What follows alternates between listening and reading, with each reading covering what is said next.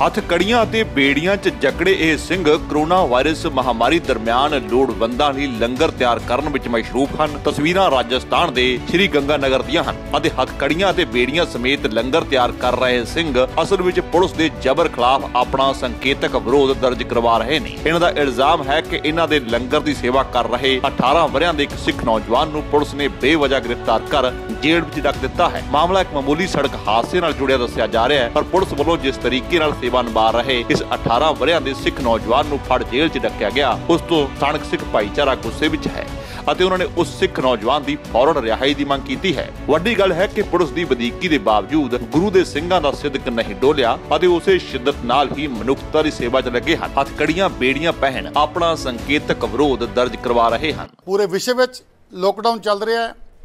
165 ਦੇਸ਼ਾਂ ਵਿੱਚ ਗੁਰੂ ਨਾਨਕ ਸਾਹਿਬ ਦੇ ਘਰ ਤੋਂ ਲੰਗਰ ਦੀ ਸੇਵਾ ਚੱਲ ਰਹੀ ਹੈ। ਹਰ ਬੰਨੇ, ਹਰ ਦੇਸ਼ ਵਿੱਚ ਸਿੱਖ ਕੌਮ ਦੀ ਸਿਫਤ ਹੋ ਰਹੀ ਹੈ।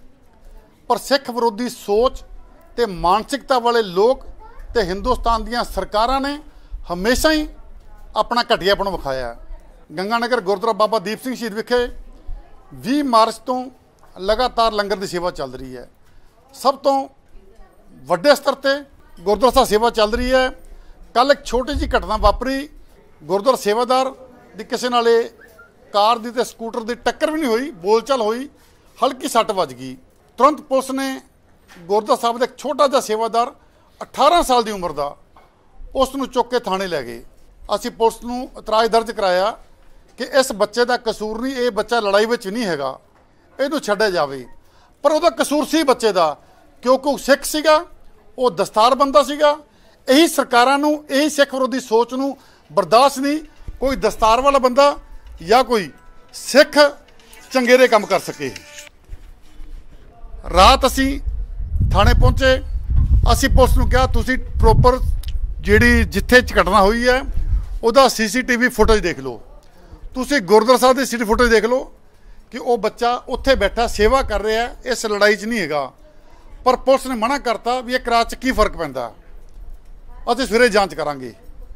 ਪੂਰੀ ਰਾਤ ਹੁਣ ਤਾਂ ਬੱਚਾ ਨਜਾਇਜ਼ ਰੱਖਿਆ। 307 ਦਾ ਉਸ ਤੇ ਕੇਸ ਦਰਜ ਕੀਤਾ ਗਿਆ। ਇੱਕ 18 ਸਾਲ ਦੇ ਮਾਸੂਮ ਬੱਚੇ ਤੇ ਅੱਜ ਅਸੀਂ ਪੂਰੇ ਮੀਡੀਆ ਦੇ ਸਾਹਮਣੇ ਕਹਿ ਰਹੇ ਹਾਂ, ਜੇ ਉਹ ਬੱਚਾ ਇਸ ਕੇਸ 'ਚ ਇਨਵੋਲਵ ਹੋਵੇ, ਇਸ ਲੜਾਈ 'ਚ ਇਨਵੋਲਵ ਹੋਵੇ, ਤੇ ਉਸ ਅਧਿਕਾਰੀ ਨੂੰ ਅਸੀਂ 10 ਲੱਖ ਰੁਪਏ ਦਾ ਇਨਾਮ ਦਾਂਗੇ, ਜਿਹੜਾ ਸਾਬਤ ਕਰਦੇ ਇਹ ਲੜਾਈ 'ਚ ਸੀਗਾ। ਜੇ ਉਹ ਗਲਤ ਸਾਬਤ ਹੋਏਗਾ, ਤਾਂ ਅਸੀਂ ਪ੍ਰਸ਼ਾਸਨ ਨੂੰ ਕਹਿੰਦੇ ਆ ਵੀ ਉਹ ਮਾਫੀ ਮੰਗਣ ਤੇ ਉਹ ਬੱਚੇ ਨੂੰ ਤੁਰੰਤ ਰਿਹਾ ਕਰਨ। ਅੱਜ ਵੀ ਉਹ ਜੇਲ੍ਹ ਦੀ ਕਾਲ ਕੋਡ ਹੀ ਸੜ ਰਿਹਾ ਇਸ ਦੇ ਰੋਸ ਵਜੋਂ ਕਿ ਸਿੱਖਾਂ ਨਾਲ ਫਿਰ ਦੋਗਲਾ ਵਿਵਹਾਰ ਕੀਤਾ ਜਾ ਰਿਹਾ ਹੈ। ਦੋ ਨੰਬਰ ਦਾ ਸ਼ਹਿਰੀ ਸਮਝਿਆ ਜਾ ਰਿਹਾ ਹੈ। ਅੱਜ ਸਮੁੱਚੇ ਸੇਵਾਦਾਰ ਆਪਣੇ ਧਰਮ ਦਾ ਪਾਲਣ ਕਰ ਰਿਹਾ ਹੈ। ਇਹ ਬੇੜੀਆਂ, ਇਹ ਜੰਜੀਰਾਂ, ਇਹ ਸੰਗਲਾਂ ਤਾਂ ਪਾਈਆਂ ਗਈਆਂ ਤਾਂ ਕਿ ਪੂਰੇ ਵਿਸ਼ਵ ਪਤਾ ਲੱਗੇ ਵੀ ਸਿੱਖਾਂ ਨਾਲ ਸਿੱਖਾਂ ਨੂੰ ਦੋ ਨੰਬਰ ਦਾ ਸ਼ਹਿਰੀ ਸਮਝਿਆ ਜਾ ਰਿਹਾ ਹੈ ਤੇ ਹਰ ਵਾਰ ਉਹਨਾਂ ਨੂੰ ਗੁਲਾਮੀਅਤ ਦਾ ਅਹਿਸਾਸ ਕਰਾਇਆ ਜਾ ਰਿਹਾ ਅਸੀਂ ਆਪਣਾ ਧਰਮ ਨਿਭਾ ਰਹੇ ਹਾਂ। ਅਸੀਂ ਬੇੜੀਆਂ ਸੰਗਲਾਂ ਪਾ ਕੇ ਵੀ ਆਪਣਾ ਧਰਮ ਨਿਭਾ ਰਹੇ ਹਾਂ ਤੇ ਪੁਲਿਸ ਵਾਲੇ ਆਪਣੇ ਧਰਮ ਤੋਂ ਕੁਤਾਹੀ ਕਰ ਰਹੇ ਆ। ਅੱਜ ਫਿਰ ਧਰਮ ਤੇ ਧਰਮ ਦੀ ਲੜਾਈ ਆ। ਅਸੀਂ ਵਿਸ਼ਵ ਭਰ ਦੇ ਸਿੱਖਾਂ ਨੂੰ, ਧਰਮੀਆਂ ਨੂੰ ਮਾਨਤ ਕਰਨ ਬੇਨਤੀ ਕਰਦੇ ਹਾਂ ਕਿ ਉਹ ਸੱਚ ਆਵਾਜ਼ ਬੁਲੰਦ ਕਰਨ। ਜਿਹੜੇ ਦੋਸ਼ੀ ਅਧਿਕਾਰੀ ਹੈ ਜਿਨ੍ਹਾਂ ਨੇ ਅੱਜ ਨਜਾਇਜ਼ ਇੱਕ ਛੋਟੇ ਬੱਚੇ ਨੂੰ ਜੇਲ੍ਹ ਦੀ ਕਾਲਕੋੜੀ ਬੰਦ ਕਰ ਰੱਖਿਆ ਉਹਦੇ ਹੱਕ ਚ ਆਉਣ ਤੇ ਉਹਨੂੰ ਤੁਰੰਤ ਰਿਹਾ ਕਰਾਉਣ।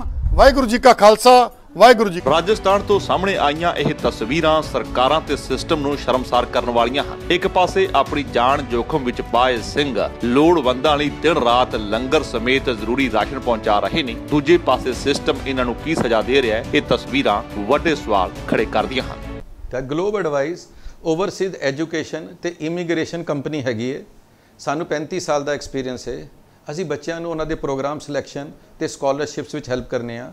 ਅਸੀਂ ਬੱਚਿਆਂ ਨੂੰ ਅਪ ਟੂ 50 ਲੱਖ ਤੱਕ ਸਕਾਲਰਸ਼ਿਪਸ ਲੈ ਕੇ ਦਿੱਤੀਆਂ ਹੋਈਆਂ ਨੇ। ਅਸੀਂ ਤੇ ਬੱਚਿਆਂ ਦੇ visa L O Rs S O P ਚ ਹੈਲਪ ਕਰਨੇ ਆ ਤੇ ਪੋਸਟ ਲੈਂਡਿੰਗ ਸਰਵਿਸਿਜ਼ ਵਿੱਚ 에ਅਰਪੋਰਟ ਪਿਕਅਪ ਤੇ ਉਹਨਾਂ ਦੀ ਟੈਂਪਰੇਰੀ ਅਕਮੋਡੇਸ਼ਨ ਦਾ ਇੰਤਜ਼ਾਮ ਵੀ ਕਰਨੇ ਹਾਂ। ਜੇਕਰ ਤੁਹਾਨੂੰ ਸਾਡਾ ਇਹ ਉਪਰਾਲਾ ਚੰਗਾ ਲੱਗਾ ਹੈ ਤਾਂ ਇਸ ਨੂੰ ਲਾਈਕ ਕਰੋ ਸ਼ੇਅਰ ਕਰੋ ਅਤੇ ਸਾਡੇ YouTube ਚੈਨਲ ਨੂੰ ਸਬਸਕ੍ਰਾਈਬ ਕਰੋ।